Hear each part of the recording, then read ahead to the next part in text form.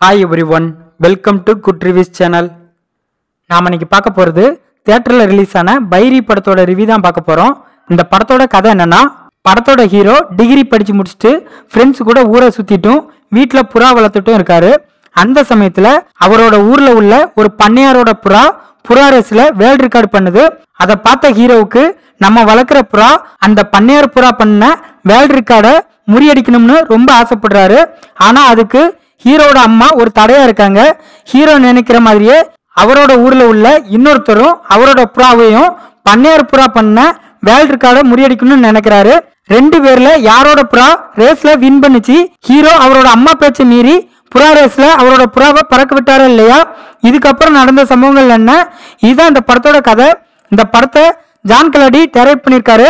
இந்த படத்துல சையத் மஜித் சரண்யா மகானா ஜான் கலடி ரமேஷ் இன்னும் பலர் இந்த படத்தில் நடிச்சிருக்காங்க. இந்த படத்தோட ப்ளஸ் படத்தோட ஸ்டோரி ரொம்ப டிஃப்ரெண்ட்டாகவும் இன்ட்ரெஸ்டிங்காகவும் இருக்குது படத்தோட ஹீரோ ஒரு தரமான பெர்ஃபார்மன்ஸ் கொடுத்துருக்காரு. ஹீரோவோட அம்மாவை நடித்தவங்களும் ரொம்பவே சூப்பராக நடிச்சிருக்காங்க. படத்தோட டைரக்டரான ஜான் கலடியும் ஒரு முக்கியமான கதாபாத்திரத்தில் செமையா பெர்ஃபார்மன்ஸ் பண்ணியிருக்காரு படத்தில் நடித்த எல்லாருமே பக்காவாக நடிச்சிருக்காங்க. படத்தில் புறா ரேஸ்னா என்ன?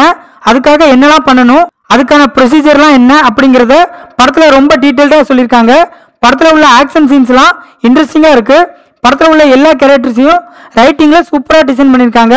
படத்தோட கிளைமேக்ஸ் வேற லெவலில் இருக்கு. அதுலேயும் கிளைமேக்ஸில் செகண்ட் பார்ட்டுக்கு லீட் கொடுத்து முடிச்ச விதம் செமையாக இருக்கு. சொல்ல செகண்ட் பார்ட் எப்போ வரும்னு நம்ம எக்ஸ்பெக்டேஷன் பண்ணுற அளவுக்கு ஹைப்பை ஏற்றி வச்சிருக்காங்க. படத்தில் மியூசிக்கும் சாங்ஸும் சூப்பராக இருக்கு. சினிமடோகிராஃபி கலர்ஃபுல்லாக இருக்கு. படத்தோட ஸ்டோரி சிம்பிளாக இருந்தாலும் அதை டேரக்டர் ப்ரெசென்ட் பண்ண விதம் செம சூப்பராக இருக்கு. அதுக்காக டேரக்டருக்கு ஒரு தனி கிரெடிட்டே கொடுக்கலாம். இந்த படத்தோட மேனஸ் படம் கொஞ்சம் ஸ்லோவாக இருக்குது படத்தில் உள்ள லவ் போர்ஷன் படத்துக்கு தேவையில்லாத மாதிரி இருக்குது படத்தோட டியூரேஷனை இன்னும் கொஞ்சம் கம்மி பண்ணிருக்கலாம். மொத்தத்தில் இந்த படத்தை பார்க்கலாமான்னு கேட்டால் கண்டிப்பாக பார்க்கக்கூடிய ஒரு ஒருத்தான மூவி தான் இந்த பைரி மூவி இந்த வீடியோ பிடிச்சிருந்தா லைக் பண்ணுங்கள் ஷேர் பண்ணுங்கள் சப்ஸ்கிரைப் பண்ணி சப்போர்ட் பண்ணுங்கள் தேங்க்ஸ் ஃபார் ஆல்